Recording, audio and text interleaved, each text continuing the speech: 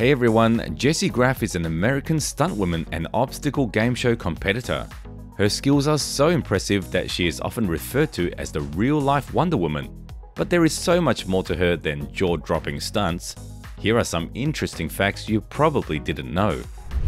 Jessie is a black belt in Taekwondo and a black sash in Kung Fu. Jessie was a competitive gymnast for six years. Jessie was majoring in aerospace engineering when she transferred to the University of Nebraska to study theatre.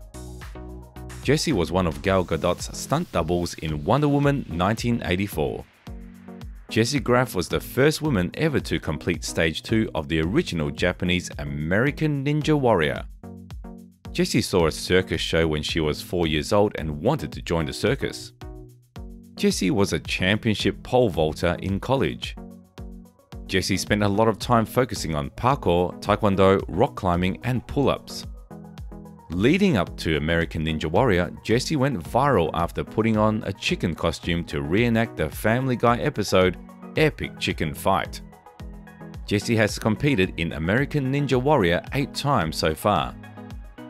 Jessie has her own fitness apparel company called Constantly Varied Gear. Jessie has done stunt work for over 80 shows and movies. At one point, Jessie wanted to become an engineer and an astronaut. Jessie has a pet pig, Sammo Hog, named after her idol and fellow martial artist Sammo Kambo Hung. Jessie's mum has a background in dancing but decided to start weightlifting at 63 years old. She and Jessie often train together. Jessie's hero growing up was Xena, the warrior princess. Jessie decided to go on American Ninja Warrior while nursing a knee tear injury. The show requires mostly upper body strength and looked like fun.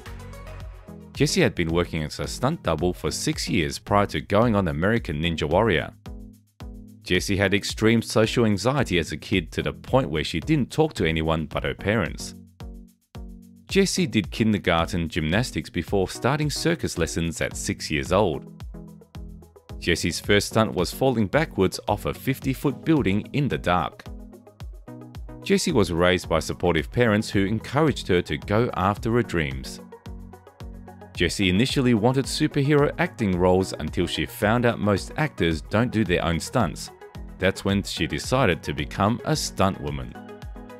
After multiple injuries throughout her career, Jessie decided to get stem cell replacement therapy for her shoulder and neck.